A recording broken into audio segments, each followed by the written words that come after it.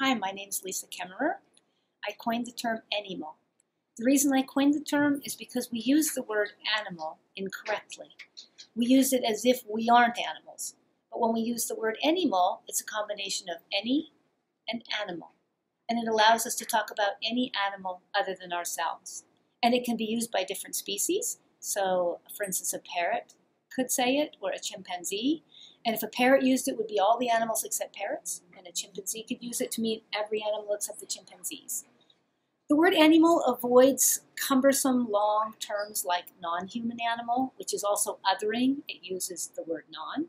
So it's very simple, it's very clean, and it doesn't, it, it prevents us from using the word animal incorrectly as if we weren't animals. Again, I'm Lisa Kemmerer, K-E-M-M-E-R-E-R. I am the founder of Tapestry, and I currently work at Montana State University in Billings, Montana.